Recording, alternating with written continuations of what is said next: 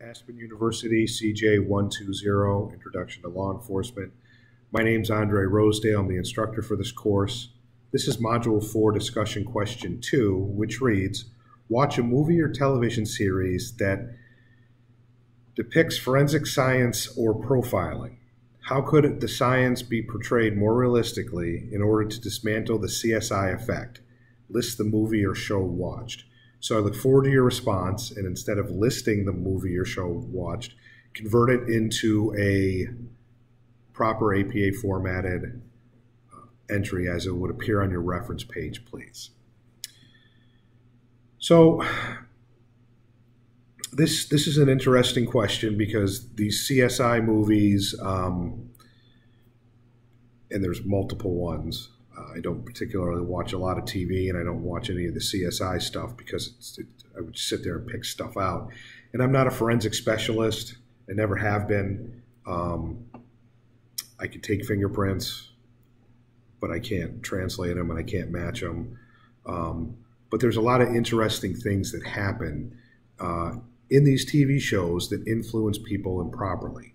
For example, I was at uh, police recertification in southeastern Connecticut, um, and during one of the days of this week long certification, the uh, prosecutors come in and they talk about changes in laws and what they would like us to do better in our reports or in testifying, that kind of thing. They all one of them mentioned that um, they lost an attempted murder charge that went to a jury trial because the suspect had attempted to kill somebody with a 380 handgun, which is it's a smaller caliber.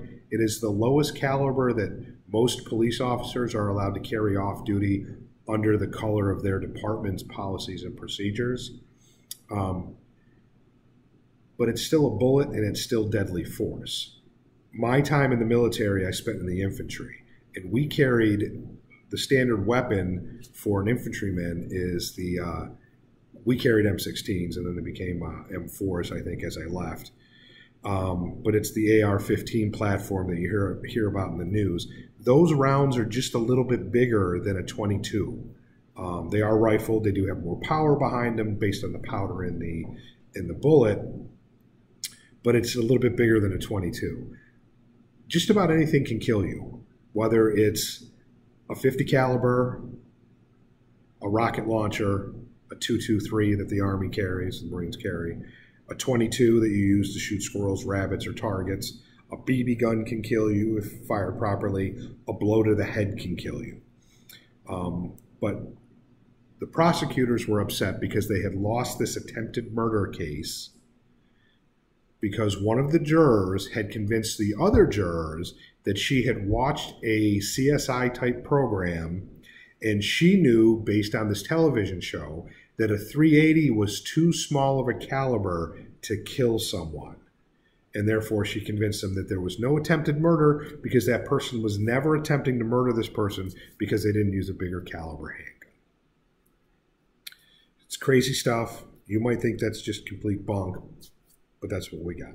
So that's what CSI type of things can do. They're kind of, or they, they have stuff like they have these computer screens that they that they are suspended in the air and they move around. They're like holograms or whatever. Never seen anything like that. I don't know anybody that has. They may be in production, they may be in testing, but they're not uh, commonly used anywhere. Um, or just the fact that they're able to solve crimes in an hour.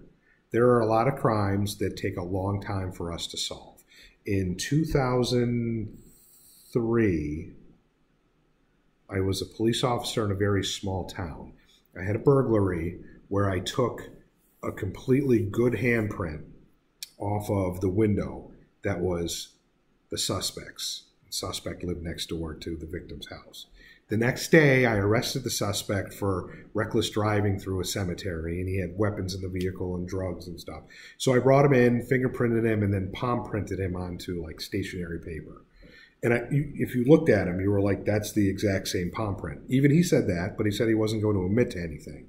So the courts refused my warrant because he would admit to it, based on them waiting for the one lab that the state of Connecticut has in Meriden, Connecticut, to match the palm prints and get back to me. That was 2003. It is uh, 2021 when I'm filming this. I'm two days from retirement, and uh, the forensic lab has not gotten back to me because it was a property crime only, and it just wasn't really that important. Um, and that's just the reality of some of the CI, CSI and forensic stuff. So I would like to know from you if you've had any experiences with this, and if so, what they were. And do you actually think that the CSI effect is seriously harming uh, police and um, efforts in the court systems to bring criminals to justice? I look forward to your thoughts.